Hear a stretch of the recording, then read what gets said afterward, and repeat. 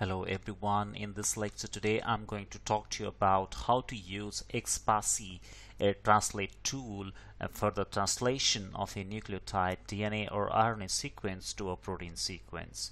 Okay, so just go to Google and then type Expasy translate and the, the website for which is uh, www.web.expasy.org slash translate the link for which I will provide in the description uh, so then when when you type in this website then you know something like this kind of window will appear okay? This kind of window will appear.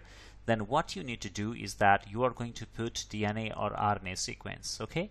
So then you are going to put what? DNA or RNA sequence. So basically I'm gonna paste the sequence of RNA mRNA that I have already copied.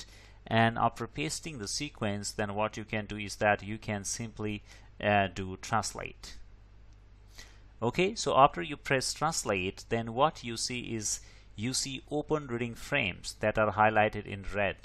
Okay so this uh, there are different open reading frames. We have actually three different frames. So frame 1 5 prime to 3 prime.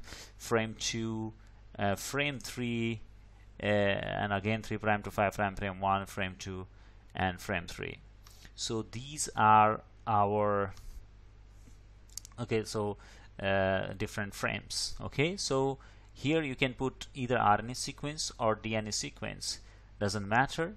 So and in the output format you can also select you can uh, select for rows with uh, methionine stop codon and spaces between residues. And you can also uh, or include nucleotide sequence. If you want then I can also try for this one. Let's see what kind of result we get after I select nucleotide sequence and as you can see that it has nucleotide sequence and corresponding amino acid and this one I like it actually. So uh, this here red indicates uh, that this is a uh, open reading frame okay? So then this is how actually you can translate using your DNA or RNA sequence uh, into protein or amino acid sequence okay? So it's very easy simply copy or paste your sequence here and click on translate and click on the output format that we you want. So then you will get your translated sequence translated into amino acids okay?